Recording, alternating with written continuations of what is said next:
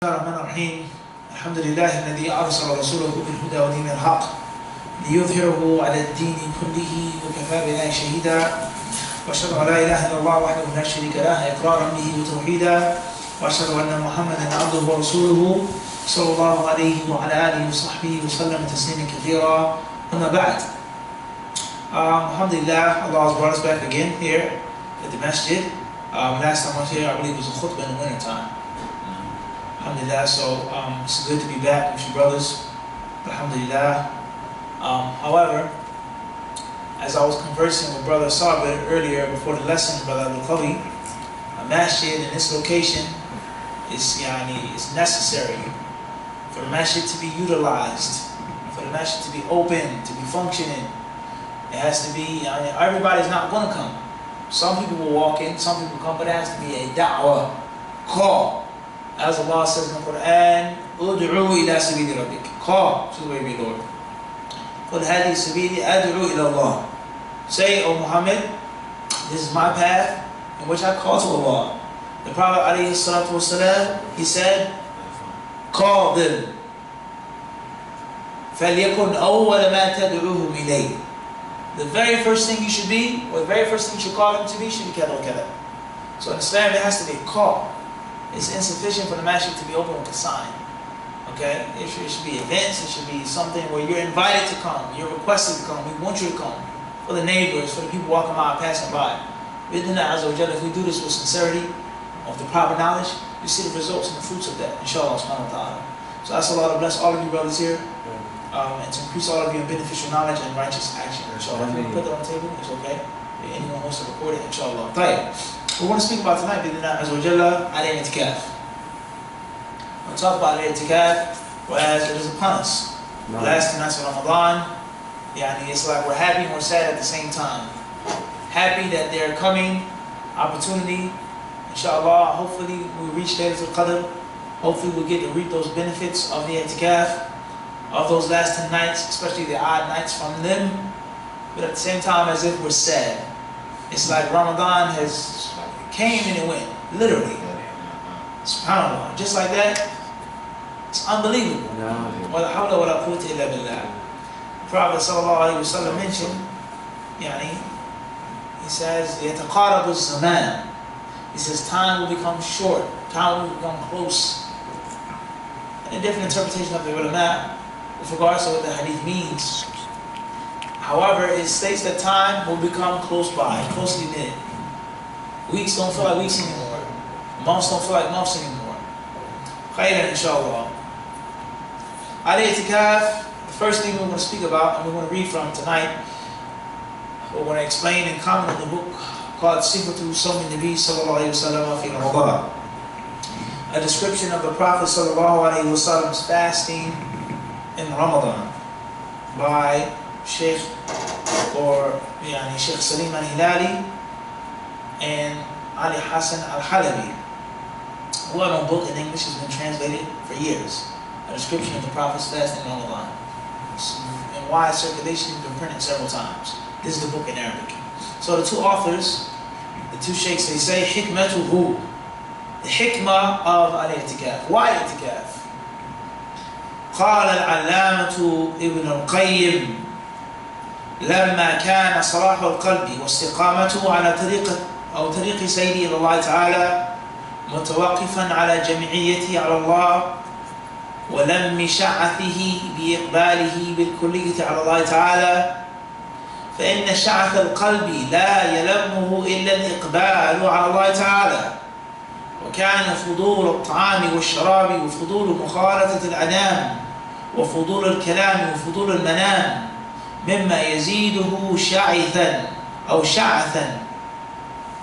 ويشتته في كل واد ويقطعه عن سيره إلى الله أو يضعفه أو يعوقه ويوقفه أو يوقفه Ibn Qayyim says, due to the fact that a person's heart being steadfast, being strong, being healthy, due to the reality that the only way your heart is going to be healthy and steadfast is when it's totally devoted to Allah. When your heart is totally attached, connected and fastened to your Lord and is focused on Allah subhanahu wa ta'ala, and there are many reasons behind a person becoming distracted from being connected with Allah, the heart. It says such as excess speech, excess sleep, excess mixing and dealing with the people. All of these things have an effect on your heart's focus on Allah. Due to the fact that this is a reality, Allah Azza He legislated i'tikaf. In other words, i'tikaf is only legislated for you to become a better Muslim. I'tikaf, we only make i'tikaf for you to be a more focused believer. Because the things that you leave off and avoid when you make i'tikaf are all things that hinder your heart from focusing upon Allah.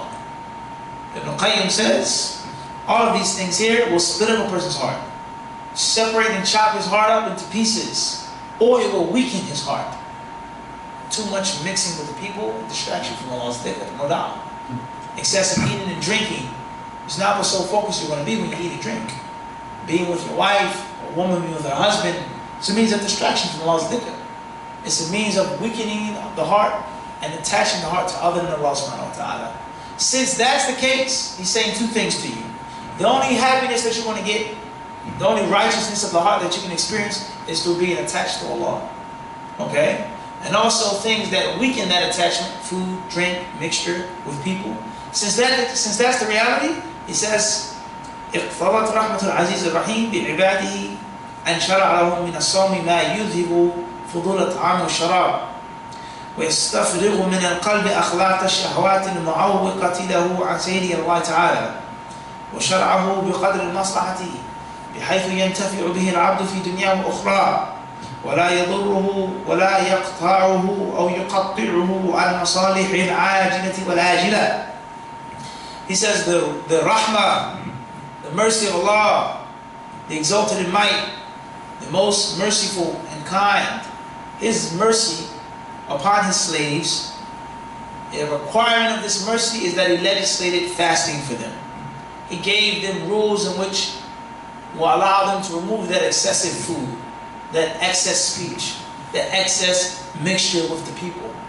He gave them a specific time of the year a specific way of getting rid of all of that excess. And that, of course, is what? It's fasting, Ramadan. Too much food is harmful to you.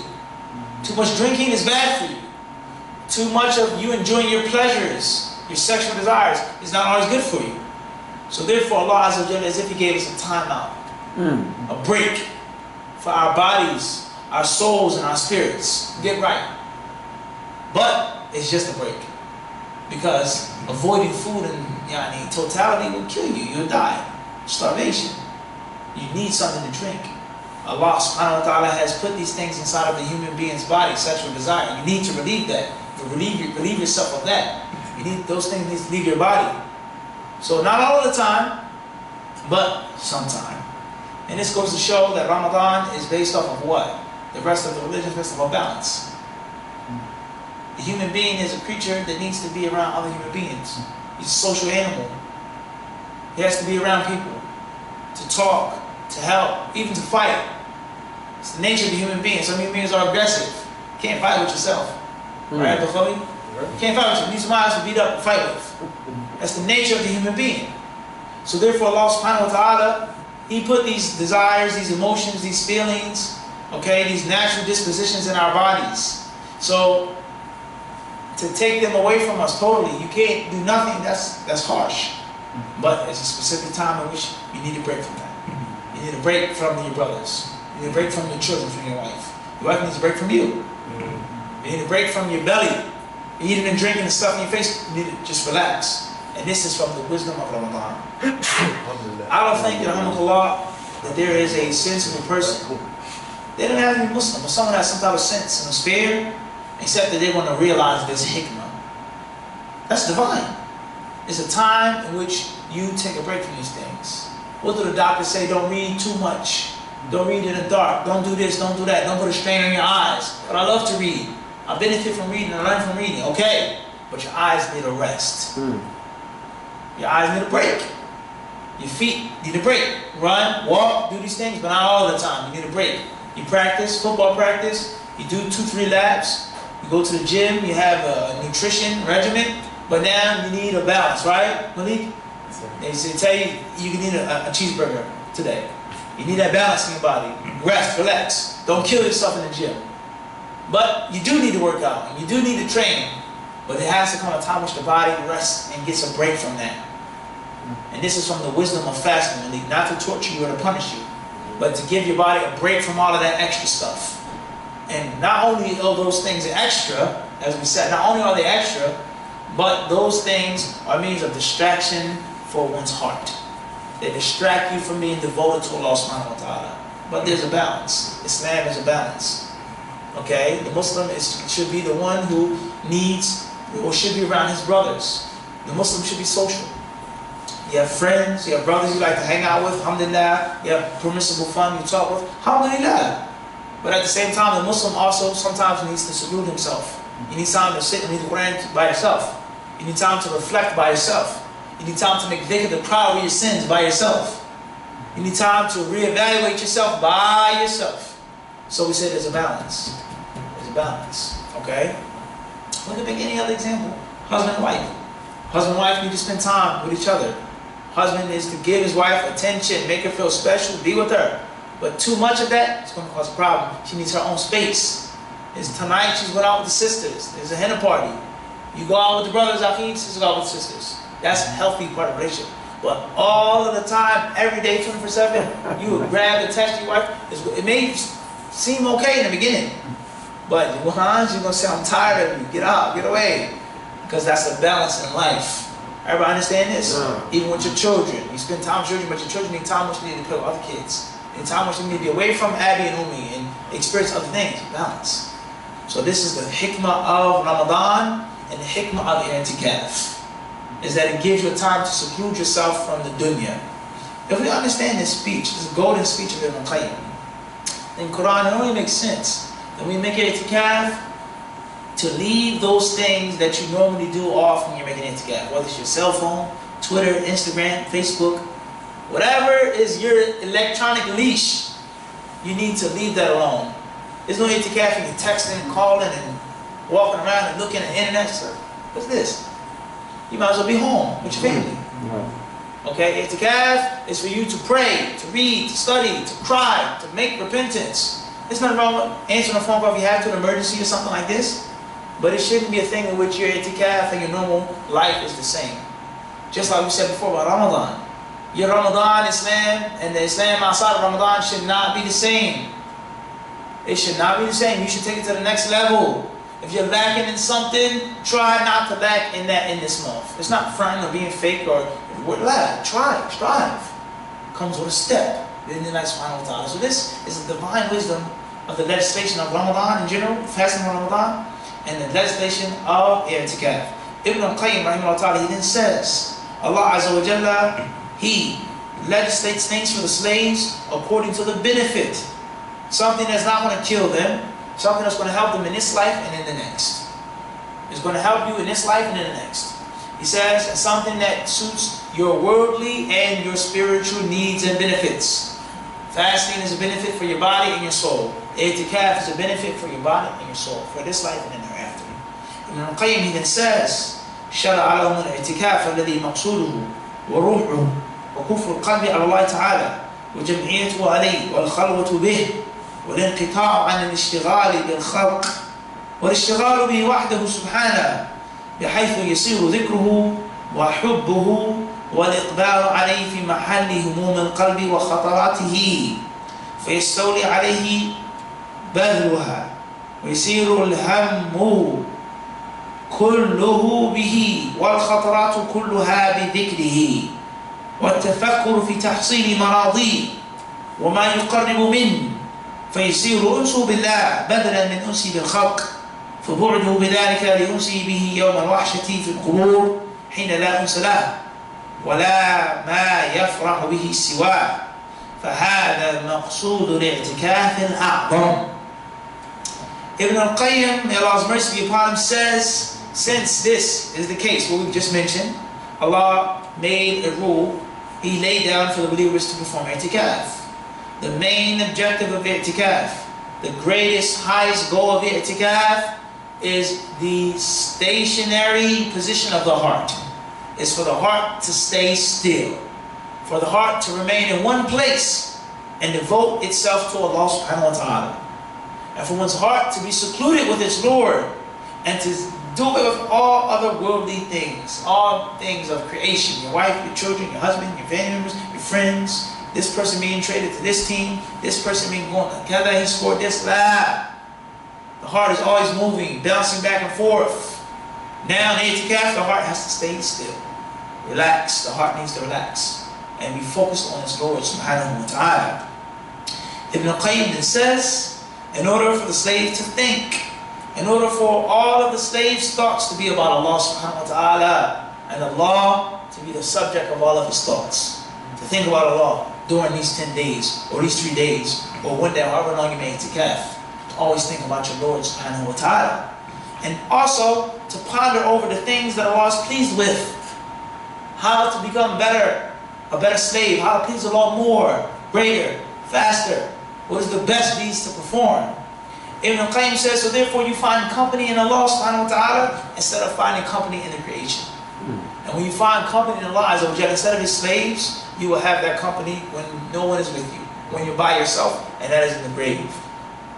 No matter how many friends you have, no matter how many followers you have on Facebook or Twitter or this and that, no matter how many teammates you have, Malik, when you go into that grave, that dark, damp, cold place, there's not going to be nobody in there with you. Not Nobody's going to make that smile you just made. That beautiful smile, mashallah. Huh? It's not going to be none of that. It's going to be you and your deeds. What you did. Your children mean nothing. Your parents, you and your deeds. But also, from the benefits of having righteous children, Mujahid, is that these are from the things, inshallah, that continue after you die. As the Prophet ﷺ said, when the son of Adam dies, all of his deeds cease except for three. And he mentioned the righteous child that prays for him. So all of the time that you spend on your son, all the money you spend on him, all the efforts that you put forth to make him happy to be a good Muslim, you're going to be repaid for it, inshallah. When you pass on, inshallah, he'll, you'll pray for him. You'll make dua for him. But other than that, you're going to be in the grave by yourself. You're going to be in the grave with no one, no one to come keep you company. So therefore, the reward, as they say, you reap what you sow. You felt comfortable with Allah in this life, and that's how you be in thereafter. And you felt it was, alhamdulillah, to be in the masjid, to pray, to read, to study, to be a good pious Muslim, you're going to get that reward thereafter.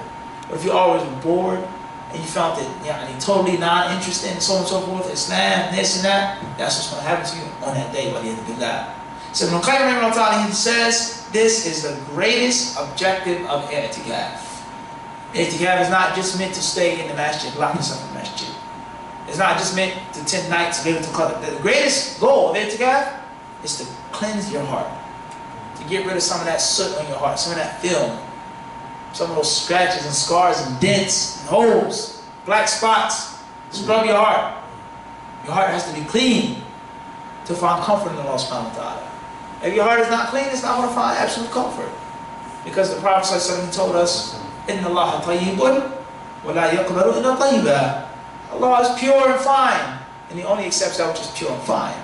So the sin or the hearts become, as Ibn Qayyim explained in another book, that a person's heart becomes rusty through two things. And a person polishes his heart through two things. The first way a person's heart becomes rusty is through disobedience. Sins. Acts of disobedience that you commit. Which means of your heart becoming stained and tarnished and rusty. And the second thing is ghafla, he said, is heedlessness. Even if you're not sinning, if you're not disobeying the law, but you're not thinking about the law, you're not making dhikr of Allah, this means of your heart becoming hard. This means of your heart becoming tarnished, becoming worn out. And he said the two polishers, two things that polish one's heart, he says, is al-istighfar, seeking Allah's forgiveness. And the second one is making dhikr of Allah. Even if you didn't make any sin, you make alhamdulillah. This is another concept, of Quran, and a very important concept as Muslims. You cannot go overboard. You seek Allah's forgiveness, and you also praise Allah, Allah. Alhamdulillah, say it abundantly throughout the day. Alhamdulillah, Alhamdulillah, Subhanallah, La ilaha illallah, la hawla wa la quwwata illa billah, Subhanallah wa bihamdi, Subhanallah al-azim. And you also say, Allah forgive me. Astaghfirullah, astaghfirullah, astaghfirullah. Abundant is a balance. You need both of the things to cleanse and to purify and to polish your heart. So therefore, that's the first step that we that we take, and that is is that i'tikaf literally, or the main objective of i'tikaf is what tricks off it in your own words. What's the greatest purpose of i'tikaf? To see your Muslim brothers, to be in the masjid, get good food.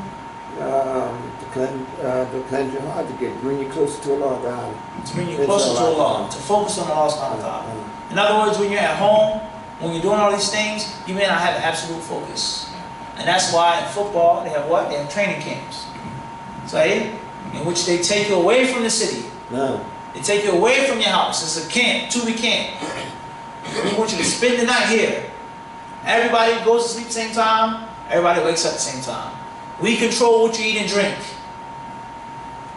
Because when you're at home, you may binge, you may eat this, you may drink this, you may do this. Or you may go too hard.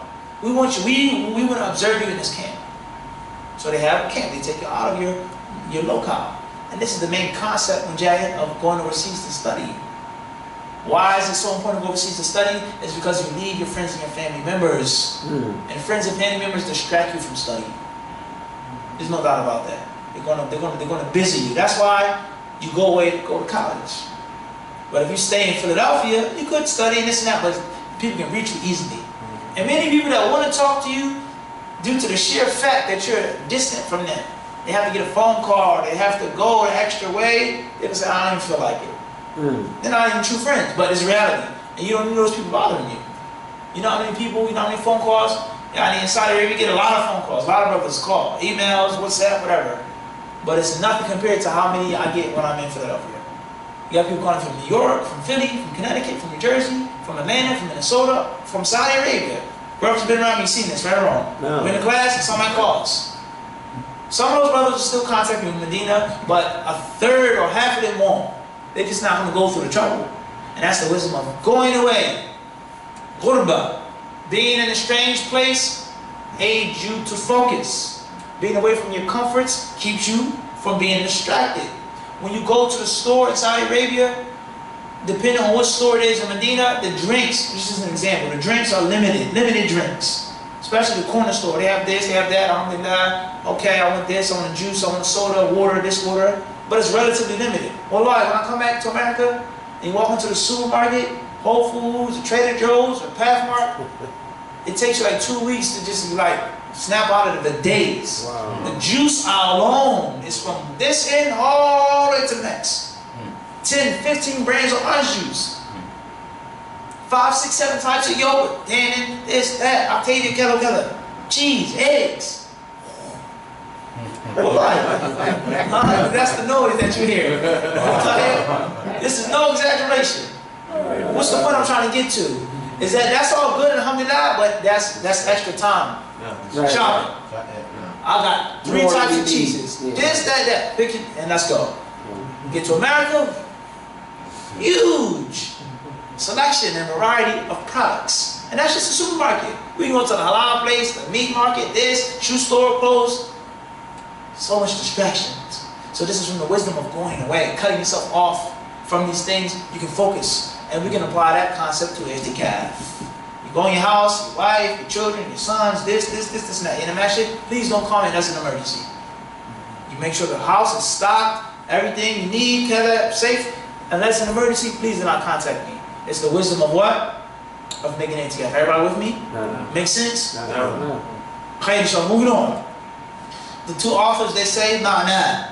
What is the meaning? What is the meaning of the word i'tikaf? They say والإقامة على الشيء فقيل لمن لازم المسجد وأقام العبادة فيه معتكف وعاكف The word i'tikaf means to stick to something, to stay put, to remain idle in one place for a considerable amount of time. So therefore in the Arabic language, عكف يعكف عكوفا اعتكف يعتكف اعتكافا يعني stay in the place. Don't move. As Ibrahim a.s. said to his people, Ma'adil asnamu. He says, what are these idols? Huh? Antum laha akifun. What are these idols that you make it itikaf with? In other words, what are these idols that you stay with all the time, and pray mm. to, hmm. and kneel to, and call to? Wow. You're attached and fastened to these idols. What's up? He said, there's people. So that's the linguistic meaning of the term itikaf. It's to stay put in one place, okay? So therefore, the one who stays in the masjid and is, and performs ibadah he's called mu'takif and it's called akif. It's another dua that Ibrahim alayhi made. وَالرُّكَعِ السُّجُودِ He says, Allah says, طاهر بيتي للطائفين والعاكفين وركع السجود. Allah said to Ibrahim his son Ismail, and طاهر بيتي. He said, clean my house, purify the Kaaba and the Masjid haram from spiritual and physical filth. The spiritual filth were idols and the images and people making tawaf being naked.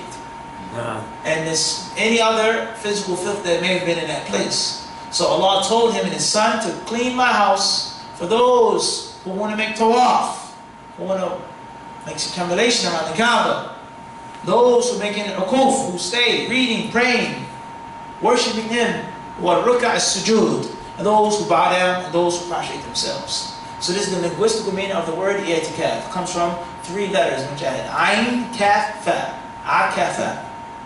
That's the linguistical breakdown of the word i'tikaf. Now, as for its meaning in Islam, it's not mentioned here in the book, then it is for a person to remain in the masjid to worship Allah subhanahu wa ta'ala. That's That's what itikaf means. To stay in the masjid, to post up in the masjid for the purpose of cutting off the dunya and worshiping Allah Azza wa Jalla. Now, the authors, they didn't say, who? Is itikaf from the sunnah? Is it legislated? Is, yani, is it something from the deen to make itikaf?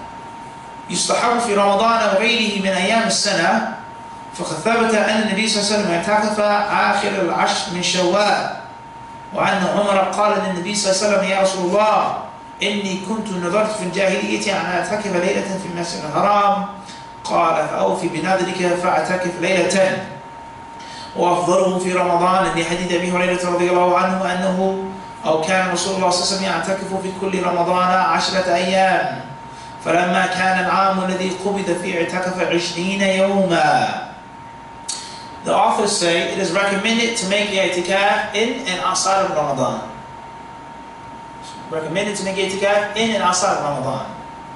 It has been authentically reported that the Prophet ﷺ once made i'tikaf during the last 10 nights of Shawwal. During the last 10 nights of Shawwal. It is also reported that Umar anhu once said to the Prophet ﷺ, O Messenger of Allah, before I accepted Islam, I made a vow to Allah. And this hadith shows us is that the mushrikeen, the idolaters of Mecca before the time of Islam, before Islam came, they knew Allah and they worshipped Allah. But their problem was they didn't single Him out in worship. They took partners, middlemen, in between, intermediaries between them and Allah subhanahu But they knew Allah was, and they worshipped Him. They loved Allah. They prayed to Him abundantly, but they did not have ikhlas. They did not have Tawheed. So this hadith clearly shows us what Tawheed means. And it doesn't just mean Tawheed al-Rububiyyah, Tawheed of Allah's Lordship.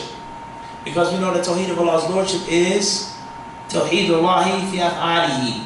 It's to single out Allah in Allah's actions. Mm. The things that Allah does, Allah creates, Allah gives life, Allah takes that life, He sends down rain, He causes the, government, the, the universe to run sufficiently, the sun rises, it sets, so on and so forth. We single out Allah in His actions. We believe Allah is the only one who does those things. And then we have Tawheed al-Uluhiyyah. The Tawheed to single out Allah in your own actions. Your prayer, your fasting, your fear, your devotion, your trust and reliance is for Allah and Allah only. The problem that the mushrikeen had was with Tawheed.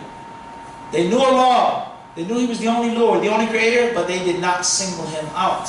And that's why the Prophet fought them and deemed their property, their blood, to be lawful. Okay? So therefore it's incorrect for the Muslim to say, Tawheed, oh, everybody knows, everybody believes in Tawheed. La, la, la. He then says, the authors, they say, that Umar said, before I had accepted Islam, I made a vow, I made a nadr. He put something that wasn't obligatory upon himself. He made, that what we call what? Another. Noon Dal Ra. Another. Another is an act of worship in which you make something that's not obligatory, obligatory upon yourself. You say in your prayers, you dua, oh Allah, I promise that I will fast three days for you. It's not obligatory fasting, but you make it obligatory upon yourself as a means of getting closer to Allah subhanahu wa ta'ala. okay, as a means of growing and increasing. I want to do more, okay? It's called nadr. And there's two types of nadr in the Quran, two types. We have nadr mutlaq and nadr muqayyad. We have an absolute vow and we have a restricted or conditional vow. The first is when you just do something extra for yourself and you make a promise to Allah. And the second is you ask Allah for something. Oh Allah, if you give me this job, I promise I will slaughter a sheep for your sake. Oh Allah, if you allow me to marry this sister, I will fast 10 days for your sake. Oh Allah, if you allow me to make this or get accepted this college, I will do this and I will do that. Everybody understand this? These are the two types of. And nadr is an act of worship that has to only be done for Allah. You cannot make a vow to a saint, to a sheikh, or an imam. I promise I'm going to do this, only for Allah subhanahu. So therefore, Umar said, if I was a Muslim, I made nothing. Okay, I made a vow to Allah that I would do what?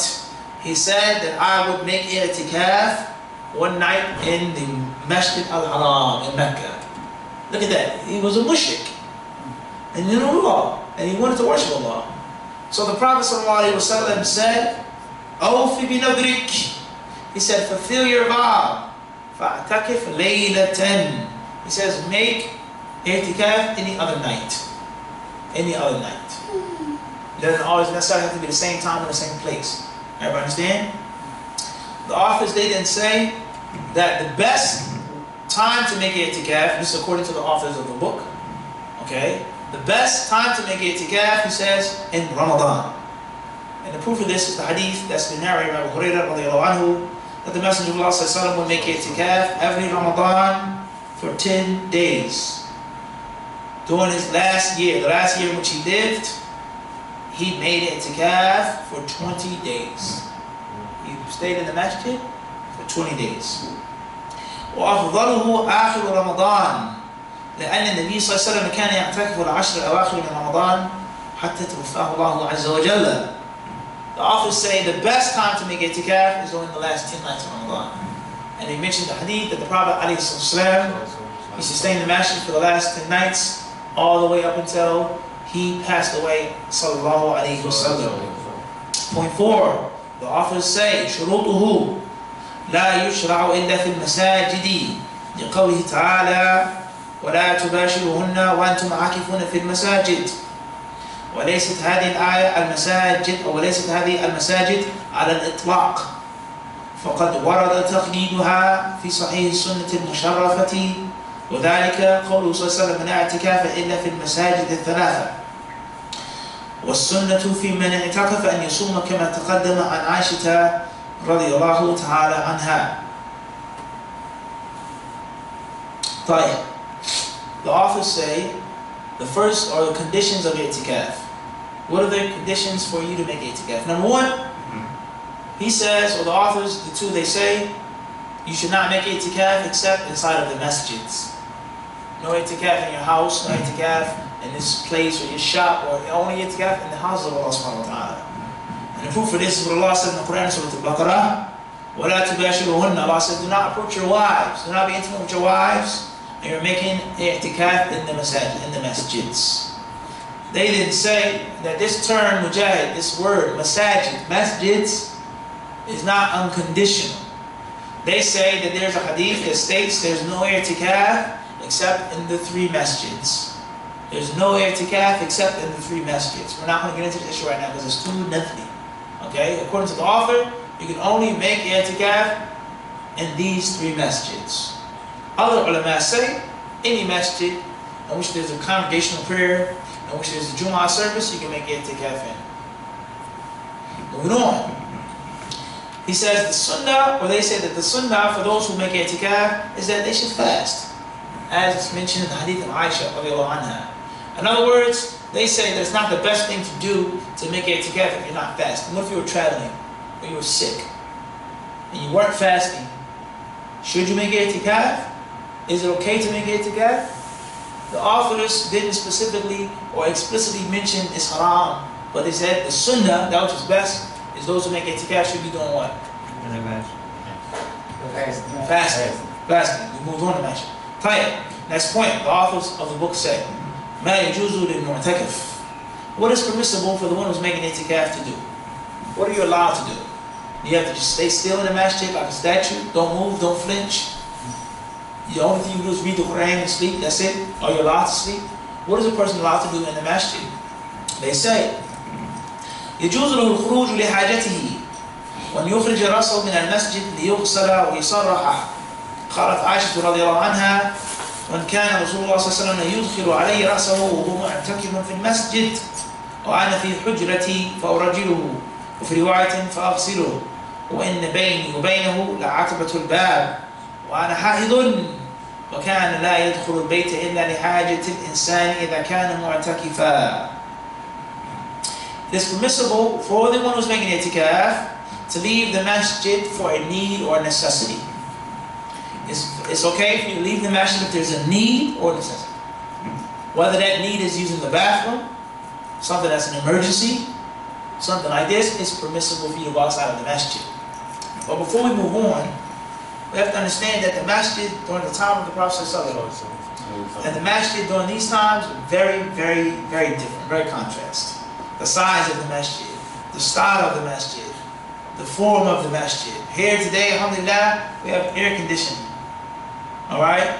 We have electricity. Okay? We have the bathrooms, the restrooms. All here. Many masjids have showers. They have a, you know, a shower inside of the bathroom. For brothers want to take showers, or sisters want to take showers, a guest, whatever. Something happens, you just want to get clean, have a shower. Back in the time of the Prophet, rather even today in some countries, some rural places, or quote unquote third world countries, or even not too long ago, in many uh, Middle Eastern countries, or Far Eastern countries, or African countries, okay, or Muslims in South America, or wherever they were, you had to walk for a distance to use the bathroom. Okay? Any old, old, older brothers, huh? You go down south, you visit your parents, visit your grandparents or something, you have to go to our outhouse. Any, we have any of those old brothers here? Is this not the case? Even in some places, not too long ago. You got to take a little walk. Take the candle or whatever with you and a stick. Go to the bathroom. So this is how things were back in the day. The masjid was not attached. There was no bathroom, no restroom in the masjid. Evident. There was no flushing, no plumbing, no modern means of technology. So therefore, these rulings are a bit different. If you have to use the restroom here, alhamdulillah, that's not the house right there. But back then, it's permissible for you to leave the masjid to use the restroom, to relieve yourself, okay? Um, or eat. Okay, the masjids then were like the masjids now. Even though their meals were simple and basic. And that's a whole other concept that we want to get into right now. It's a whole topic in itself. The hadith about when the adhan is called or when the iqamah is made and your supper is served, eat your supper first. That's a whole issue, a whole argument among the ulama. Is it permissible to continue to eat while the prayer is being established? You have to be starving, hungry, uh, something's going to happen to the food. And then Hafiz bin Hajar, rahimahullah ta'ala, or I believe he was quoting from Ibn al-Jawzi, okay, in Fath al-Bari, that the meals of the companions are not like the meals that we have today. It was simple, basic meals. the companions ate, ate meat. They had warm things. They had broth. They had bread. They had sauce. They had things like that during those times. But that